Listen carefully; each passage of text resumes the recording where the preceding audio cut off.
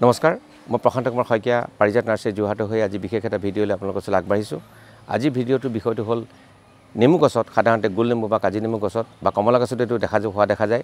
তে টেঙাজাতীয় গছত সাধাৰণতে যিবিলাক পোকৰ উপদ্ৰৱ হয় সেইবিলাকনো কেনেকৈ আমি নিৰাময় কৰিব পাৰোঁ সেই বিষয়ে আমি আলোচনা কৰোঁ।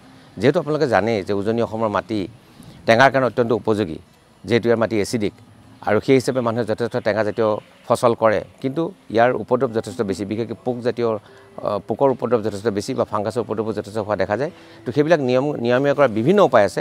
তাৰ ওপৰতে বিশেষকৈ আজি ষ্টেম বৰাৰ যিটো আপোনাৰ জানে যে গা গছত যিটো ফুটা কৰি পেলাই এটা পোক আমি সোমাই যোৱা দেখোঁ আৰু সেই পোকজোপাই সাধাৰণতে এই গছবিলাক নষ্ট কৰে। বিশেষকৈ গোলনেমু গছত ইয়াৰ উপদ্ৰৱ অত্যন্ত বেছি হোৱা দেখা যায়। তো সেই হিচাপে মই ভাবিছোঁ যে এই ভিডিঅ'টো যদি প্ৰস্তুত কৰোঁ হয়তো আপোনালোকৰ কিছু সুবিধা হ'ব আৰু বহুতৰ ৰাইজৰ অনুগ্ৰহৰ কাৰণেও আমি ভিডিঅ'টো আজি প্ৰস্তুত কৰি উলিয়াইছোঁ। আহক আমি এই বিষয়ে কথা পাতোঁ। ইতিমধ্যে আমি কথা পাতিছোঁৱেই পোকৰ কথা পাতিছোঁ। তাৰে আজি আমি যিটো বিষয়ৰ বিষয়ে কথা পাতিছোঁ সেইটো হ'ল ষ্টেম বোৰাৰ। মানে গা গছত যিটো আপোনাৰ ফুটা কৰি পেলাই যিটো পোক সোমাই যায় তাৰ বিষয়ে আমি কথা পাতিম আৰু তাৰ নিৰাময়ৰ বিষয়ে আমি কথা পাতিম।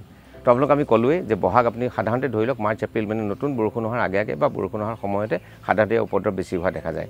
কাৰণ বৰষুণ হোৱাৰ লগে লগে নতুন কুঁহিপাতো ওলায় বিভিন্ন পোক ওলায়। তাৰ লগে লগে এই ষ্টেম বোৰা যিটো আহি পেলাই আপোনাৰ গা গছত ফুটা কৰি পেলাই ভিতৰত সোমাই যায়। তো এতিয়া আমি সেই যেতিয়া আপুনি কেনেকৈ গম পাব যে গছজোপা ষ্টেম্বৰা হৈছে দেখিব যে গা গছজোপাত এটা ফুটা হৈ গৈছে। ফুটা হৈ গৈছে আৰু তাৰ সেই ফুটাটোৰ পৰা গুৰি গুৰি গুৰি গুৰি যেনেকৈ আমি দেখোঁ যে সাঁচি গছত যেনেকৈ মাল ধৰিলে যেনেকৈ আপোনাৰ তলত গুৰি গুৰি পৰি থাকে তেনেকুৱা গুৰি গুৰি তলত পৰি থকা দেখা যাব। আৰু তাৰ পৰা আপুনি অনুমান কৰিব পাৰিব যে এই গছজোপাত ইতিমধ্যে ষ্টেম্বৰা সোমাইছে পোক সোমাইছে। এতিয়া কৰিবলৈ ৰিমেডিটো খুব সাধাৰণ তথাপিতো মই কৈ থওঁ হয়তো জ্ঞাত নহ'ব পাৰে।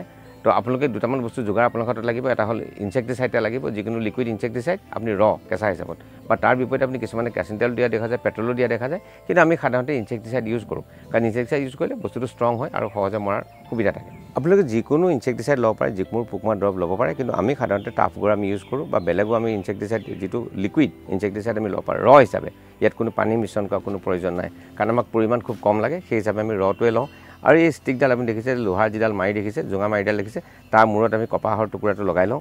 লৈ পেলাই এই ৰ ইনচেক্টিচাইডত আমি ডুবাই লওঁ। ডুবাই লৈ পেলাই যিজোপা গছত য'ত আপুনি ফুটাটো দেখিছে তাত আপুনি খুচি খুচি খুচি খুচি সোমাই দিলে হ'ল। আৰু সোমাই দিয়াৰ পাছৰ কামটো হ'ল যেতিয়া আমি সোমাই দিওঁ তাৰ পাছত আমি কি কৰে বহুতে তাত বোকাই লেপি দিয়ে।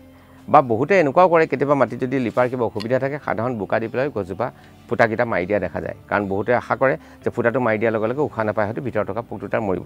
কিন্তু মই ভাবোঁ ইনচেক্টিচাইড দি পেলাই যদি আপুনি দিয়ে তেনেহ'লে এটা ইফেক্ট দিলে ডেফিনেটলি বেছি হ'ব। আৰু তেনেধৰণে আপুনি যদি কৰে বিশেষকৈ বহাগৰ সময়ত সুৰ পোকৰ পৰা বা আপোনাৰ ষ্টেম বুঢ়াৰ পৰা আপুনি গছজোপা বচাব পাৰিব। এটা ষ্টিক আপোনালোকক দেখুৱাইছোঁ মাৰি দিলোঁ আপোনালোক দেখুৱাইছোঁ। এলান একো নহয় এডাল আপোনাৰ চাইকেলৰ স্পক এডাল জোঙা কৰি লৈছোঁ আৰু ধৰিবৰ কাৰণে সুবিধাৰ কাৰণে ৰবৰডাল বান্ধি লৈছোঁ। তেল জোঙা কৰি লৈছোঁ অকণমান। এই ধৰণে আপুনি কপাহৰ অকণমান টুকুৰা এটা লৈ ল'লে অকণমান টুকুৰা আমাৰ লৈ ল'লোঁ। এই ষ্টিকডালৰ মূৰত আমি লৈ ল'লোঁ। আৰু যিটো ইনচেক্টিচাইডৰ বটল আছে বটলটো খুলি তাত ৰ ইনচেক্টিচাইড মানে ইয়াত কোনো পানী মিশ্ৰণ কৰাৰ প্ৰয়োজন আমি অনুভৱ নকৰোঁ। সেই হিচাপে ইয়াক লৈ ইয়াত আমি বস্তুটো ডুবাই এনেকৈ ডুবাই ল'লোঁ। আৰু এই ডুবোৱা যিটো মিশ্ৰণ ইয়াত যিহেতু ৰ হৈ আছে কেঁচা হৈ আছে ইয়াৰ ইফেক্টনেছ খুব বেছি আৰু খুব চোকা বস্তুটো। গতিকে ইয়াত আমি গছজোপাৰ য'ত আমি এই বস্তুটো দেখিম য'ত আমি ফুটাটো দেখিম সেই ফুটাটোত আমি লাহেকৈ সোমোৱাই দিম। আৰু সেই কপাহখন তাতে এৰি থৈ গুচি আহিম। কপাহটো দি পেলাই আমি ফুটাটো বন্ধ কৰি দিম সাধাৰণতে। দি থৈ গুচি আহিম। যেতিয়া আমি দিম এনেকৈ সোমাই দিম। কপাহ দি পেলাই যেতিয়া ফুটাটো বন্ধ কৰি দিম স্বাভাৱিকতে ফুটাটো বন্ধ হৈ যাব আৰু এই যিখিনি ইয়াৰ ইনচেক্টিচাইডৰ যিটো গুণ বা এইটোত এই পোকটো ইয়াৰ ভিতৰত গোৱা গছজোপা য'তেই আছে তাত এইটো মৰা দেখা যাব।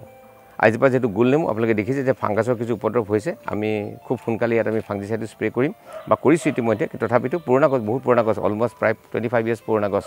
আমাৰ এই গছজোপা বহুত দিনৰ পৰা বাচি আছে আৰু খুব সুন্দৰ ইয়াৰ ফল। দেখাত সিমান সুন্দৰ নহয় কিন্তু খাবলৈ অত্যন্ত ভাল। সেই হিচাপে মই দেখিছোঁ ইয়াত আমি এইজোপা যদি আমি বচাব পাৰোঁ তেন্তে চাহ বিকতে যদি পঁচিছ বছৰে উৎপাদন দিছে তেনে আন বহুত বছৰ আমাক হয়তো উৎপাদন দি থাকিব। আমি ইতিমধ্যে আপোনালোকৰ লগত কথা পাতিলৈ কি ধৰণে ষ্টেম বঢ়াৰ কাৰণে আপোনালোকে গা গছত আপুনি ফুটা যিটো হয় তাত আপুনি কেনেকৈ কপাহ বঢ়াই পেলাই বা ইনচেক্টিচাইড দি পেলাই আপুনি ফুটাটো বন্ধ কৰি দিব। তাৰ যোগেদি আপুনি গছজোপাত থকা পোকটো আপুনি মাৰিব পাৰিব। কিন্তু তাৰ বাদেও কেইটামান বিশেষ যতন ল'বলগীয়া থাকে টেঙা গছত। ইয়াৰ আটাইতকৈ দৰকাৰী কথাটো হ'ল তলখন আপুনি চফা কৰি থোৱাটো অত্যন্ত জৰুৰী। আৰু বহাগৰ আগে আগে যদি তলখন চফা কৰি থকা যায় তেন্তে তেতিয়া দেখা যায় এটা প্ৰৱণতা কম হয়। দ্বিতীয়তে বহুতে কয় যে আমৰলি পৰুৱা বহুতে মিল দিয়া দেখা যায়। গাঁৱৰ মই দেখিছোঁ আমৰলি পৰুৱা মেলে তেওঁলোকৰ মতে যে আমৰলি পৰুৱা মিল দিয়াৰ লগে লগে আমৰলি পৰুৱাই আপোনাৰ কিছু তাৰ পোকবোৰ প্ৰিভেণ্ট কৰে বা আহিবলৈ তাক নিদিয়ে। তৃতীয়তে বহুতে কি কৰে যে মাছৰ পানী দিয়ে বা বেয়া মাছ আনি পেলাই গছৰ গুৰিত দি দিয়া দেখা যায়। তাৰ কাৰণটো হ'ল যে পৰুৱা তাত আহি পেলাই পায় আৰু পৰুৱাই এই ইনচেক্টবিলাকক পোকবিলাকক আপোনাৰ গছজোপাৰ খাবলৈ সুবিধা কৰি নিদিয়ে আৰু সেইকাৰণেই গছজোপাই ৰক্ষা পায়। আৰু এটা কথা দৰকাৰ যে ফাংগাছৰ উপদ্ৰৱৰ কাৰণে আমি আৰু এটা কাম কৰিব পাৰোঁ বৰ্ডেক্স মিক্সাৰ যিটো আমি পেষ্ট কৰি পেলাই আপুনি লিকুইড কৰি নহয় পেষ্ট কৰি পেলাই কেতিয়াবা আমি কথা পাতিম বৰ্ডেক্স মিশ্ৰণটো কেনেকৈ বনাব পাৰি বহুতে হয়তো শুনিছে বহুতে হয়তো দেখাও নাই। এইটো আমি ইয়াৰ বিষয়ে আমি কথা পাতিম কেতিয়াবা। চূণ আৰু টুটীয়া যে আপুনি জানে যে টুটীয়া যিটো আমি কপাৰ বুলি কওঁ কপাৰ যিটো বিষাক্ত আৰু চূণ এই দুটাৰ মিক্সাৰ মিলাই পেলাই বৰ্ডেক্স মিক্সাৰ বনোৱা হয়।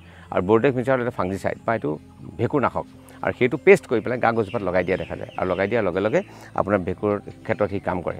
আৰু বহুতে চূণো দিয়া দেখা যায়। গতিকে চফা কৰাটো এটা আমাৰ প্ৰাথমিক কাম হ'ল। দ্বিতীয়তে আমাৰ গা গছডালৰ চূণ আমি দিব পাৰোঁ। দ্বিতীয়তে আমি পেষ্ট কৰি পেলাই বৰ্ডেক্স মিক্সাৰ লগাই দিব পাৰোঁ ফাংগাছটো প্ৰিভেণ্ট কৰিবৰ কাৰণে আৰু আটাইতকৈ দৰকাৰী কথা এইকেইটা হ'ল বিলাক পোকটো নিৰাময় কৰিবৰ কাৰণে। কিন্তু তাতোকৈ এটা দৰকাৰী কথা আপোনালোকে জনা দৰকাৰ কেতিয়াও আপোনালোকে কোনো কাৰণতে ইনচেক্টিচাইড কেতিয়াও সুদা হাতে কেতিয়াও টাচ নকৰিব। কাৰণ এইবিলাক খুব বেছি পয়জনাছ অত্যন্ত বহুত বেছি পানীৰ লগত মিলাই লোৱা দেখা যায় শৰীৰৰ কাৰণে অত্যন্ত হানিকাৰক আৰু বহুতে হয়তো ইগনৰেঞ্চ নজনাৰ অভাৱত এইটো হ'ব পাৰে। বা আপুনি শুকালে বুলি ভাবিয়ে যদি ভাবি লয় যে গছজোপা মোৰ হাতখন চফা হৈ গুচি গ'ল এইটো কেতিয়াও সুবিধাজনক কথা নহয়।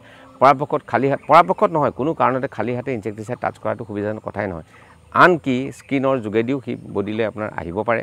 তাৰ কাৰণেও খুব দৰকাৰ ইয়াৰ গোন্ধ অতি মাৰাত্মক সেই গোন্ধটো লোৱাটো বহুতে গম ধৰিব নোৱাৰে কিন্তু সেইটোও মাৰাত্মক আৰু ইনহেল কৰিলে সি শৰীৰত স্বাভাৱিকতে অপকাৰ কৰিবই। কাৰণ কীটক যেতিয়া পোকক যেতিয়া সি মাৰিব পাৰে স্বাভাৱিকতে আমাৰ হিউমেন বডিৰ কাৰণে অতি বেছি হাৰ্মফুল সেইটো কাৰণে এই ব্যৱহাৰটো অত্যন্ত সাৱধান হোৱাটো অতি দৰকাৰ আৰু খালী হাতে কেতিয়াও আপুনি ইনচেক্টিচাইড টাচ নকৰিব। যিকোনো বস্তু আপুনি হাতখন চফা নকৰাকৈ কেতিয়াও খোৱাটো আমি এডভাইচ নকৰোঁ বা সেইটো নিয়মো নহয়। গতিকে এইখিনি যদি সাৱধানতা লয় আপোনাৰ গছজোপাৰ আপুনি পোকটো নিৰাময় কৰিব পাৰিলে আপোনাৰ নিজৰ শৰীৰৰ কাৰণে এইখিনি ভাল হৈ থাকিল। মই ভাবোঁ যে আপোনালোকে যেতিয়া এইটো যিকোনো বিধি ইনচেক্টিচাইড যেতিয়া ইউজ কৰাৰ বিধি আপোনালোকে প্ৰয়োগ কৰে তেনেহ'লে এইকেইটা সাৱধানতা আপোনালোকে অৱলম্বন কৰিহে কাম কৰিব। আৰু যদি আপোনালোকে ভাবিছে যদি ভিডিঅ'টো আপোনালোকে ভাবিছে আপোনালোকৰ কিছু কিছু ইনফৰ্মেশ্যন আপোনালোকে পাইছে তেনেহ'লে স্বাভাৱিকতে যদি ছাবস্ক্ৰাইব কৰে আমি অত্যন্ত সুখী হ'ম আৰু আগলৈ এনেকুৱা ধৰণৰ ভিডিঅ' কৰি যাবলৈ উৎসাহী হ'ম। ধন্যবাদ।